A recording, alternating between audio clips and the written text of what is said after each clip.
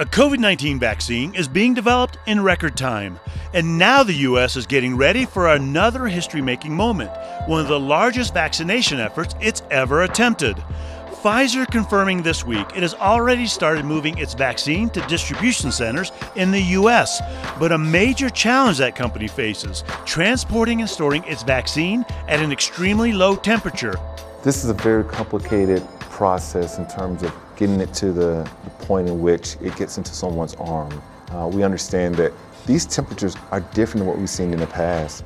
We're hauling in some cases deep frozen type temperatures, minus 70 degrees Celsius. And that's something that the distribution channel has not seen. Trane Technologies Thermo King in Bloomington, Minnesota specializes in refrigerated transport. The company's trucks were used as temporary morgues during the COVID surge in New York City this past spring. They confirmed their vehicles will also be used by several companies distributing the vaccine. Just to be clear, this is not the Pfizer cooler. This is, however, a cooler from a manufacturer that builds your typical pharmaceutical coolers. Uh, we've been reaching out to these manufacturers to help us understand what these solutions look like. And so we can get a better handle on how our product can work in conjunction with this type of product to extend the dry ice life. Engineering manager Bruce Kranz said their trucks could double the life of the dry ice. Inside this box, you have what's called the payload box. That's what this is right here. And the vials would go in, in their own containers, and then those containers would get loaded into this payload box. So one of the challenges here is if you have to re-ice this, the potential of damaging this box, dropping it, or leaving it out too long. If delivery is delayed, the dry ice might have to be replenished, and that's not a simple task. They have a rather tight seal on the lid. I'm going to set that aside. We're going to remove the payload box so that we can get part of the charge of dry ice into the bottom of the payload box. You could transfer this by gloved hand, you could get a scooper. I'm gonna pour some of this into the bottom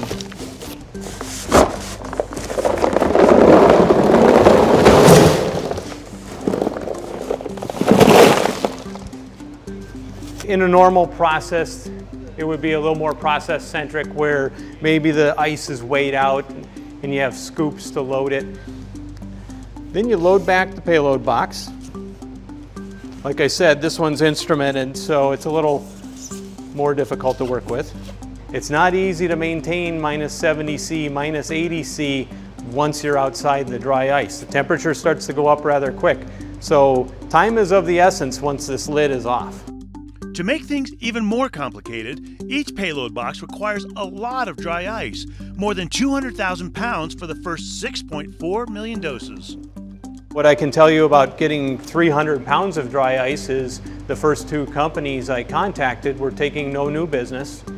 Um, the third company was willing to work with me but could only supply me with slab or block dry ice and what's required here is pelletized dry ice. So the pelletized dry ice will turn from a solid to a vapor much quicker than the slab type dry ice. Therefore, you have to get closer to the, the manufacturer of the dry ice to actually have a reliable supply of the pelletized form, which is what's recommended to be loaded into these boxes.